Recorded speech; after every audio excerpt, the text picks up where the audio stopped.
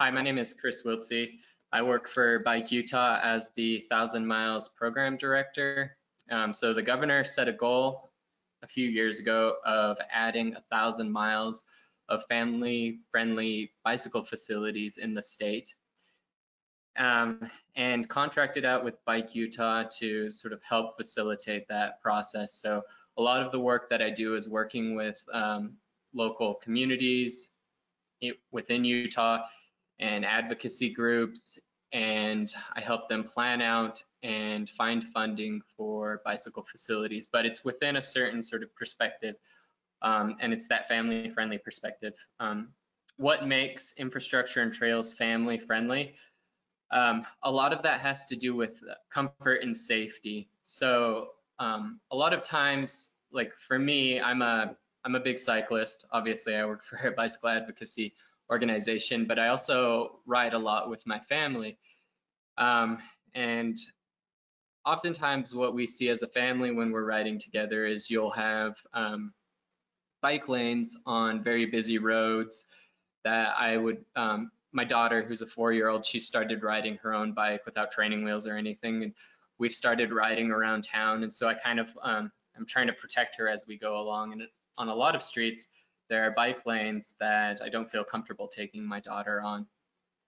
Um, so to deal with that, we created this kind of um, uh, spectrum of possibilities, and it has to do with speeds and volumes of vehicles. So um, at sort of the lowest end, we're talking about these neighborhood byways where it might just be some signage and some traffic calming. So it might be some bulb outs and um, bikes are just riding on the street with cars, but um, you have different features that are reinforcing that speed limit that already exists.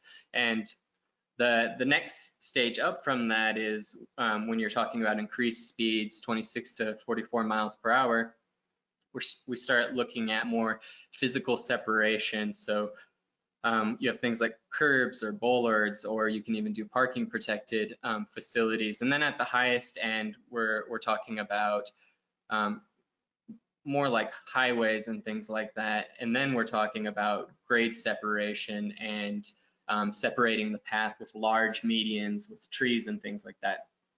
Um, and I'll give some examples on the next slides.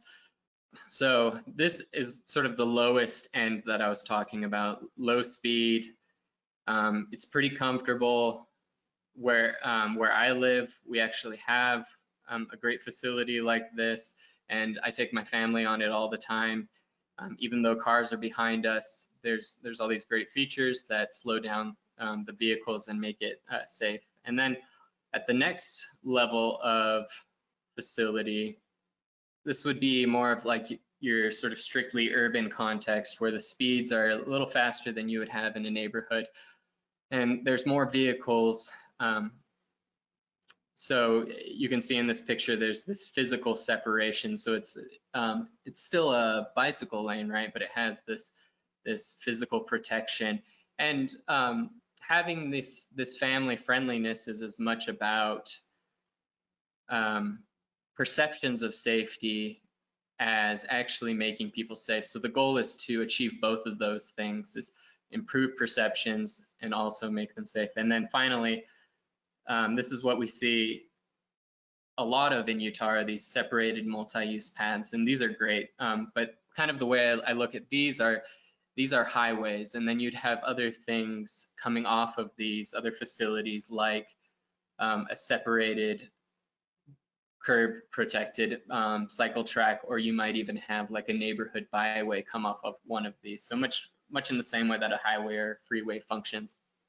So as um, I've been working on creating this kind of perspective, uh, Bike Utah, or sorry, Bike Walk Provo reached out to um, my program and they were talking about the transportation master plan that um, Provo City had been developing um, with Parametrix. So Parametrix, I, I, think I actually see Vern Kiesler here, but they did an awesome job of creating this great network throughout the city um, in their plan. And they, they even included in their plan what I would describe as um, a family-friendly perspective. So they talked about how there's these different comfort levels within this plan and how according to those different comfort or the, the type of facility that you put in will increase those comfort levels. And so what um, Bike Walk Provo wanted to do was take that perspective that was in the Transportation Master Plan and also this perspective um, within the governor's program and look at this network that was this bicycle network that was in the transportation master plan and, and, sort of apply it. So what kind of facilities would go where within this network?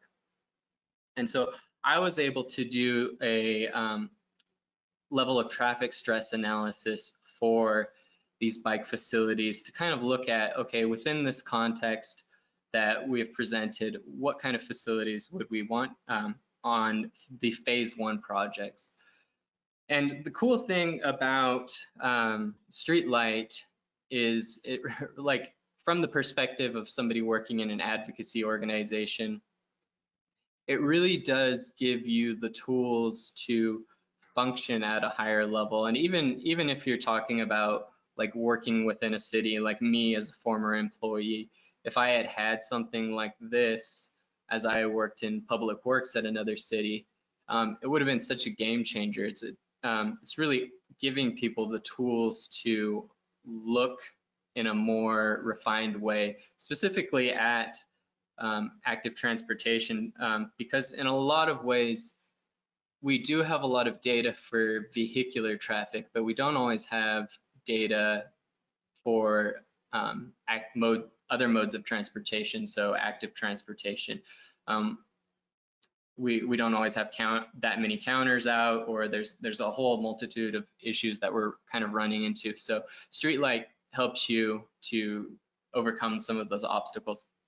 So what I was able to do with Streetlight was to look at both um, the volume of vehicles on these specific roads and some of it was um, kind of speculative, right? Because some of these roads don't actually exist or they're not um, connected into into the broader network at this point or um, there hasn't been a whole lot of development in the area where these things exist. Um, so that looks at kind of the context. Okay, what does the road look like? What does it, it um, within the transportation master plan? What have they designated it as um, functionally? And then I was also able to look at the AADT of all of these roads. And, and as somebody who works statewide, the reality of me like being able to go out and do these counts at these different roadways, it, it's just not realistic and it's, it's just not going to happen. But to be able to sit down at Streetlight on their platform and um, look at this and be able to get uh, dependable numbers, I, think that's huge. Um, so this is on this slide, you can see an example of what I'm um, talking about where I was able to get speeds. Um, so this is one example of a facility is Lakeview Parkway. I was able to get the um, speeds for vehicles um, within this um, roadway and um, then from there, I was able to make recommendations for all of these phase one projects. Um, and then also along with the average daily traffic. And um, it, it's really interesting because a lot of these facilities, you can see sort of talking about context and the transportation master plan, you can, you can see on here that the vehicle speeds and the average daily traffic don't necessarily warrant some of these um, larger or more robust facilities. But then when you start looking at the um, transportation master plan and what some of these roadways have been designated as, um, and then you actually look at the context, you you start to see what kind of facility would need to be there. So it, it's kind of a balancing act of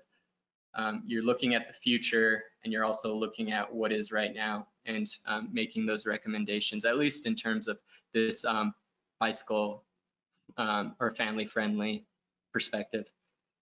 Um, yeah, and, and I recognize that this maybe isn't as sophisticated as the Fehr and Peers project, but I have worked on a lot of other um, projects because I have a, a license that covers a big chunk of Utah County.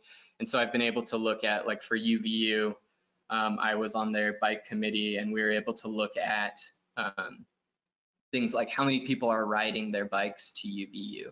Um, nobody had any idea, um, just because it goes back to what I was talking about, um, not having necessarily having that active transportation data. And everybody was surprised by the numbers that came up or um, looking at uh, where people are coming from within um, like origin and destination data within Provo. It was really interesting to look at that um, and be able to just pull that up and have it at my fingertips. It's been um, pretty eye-opening.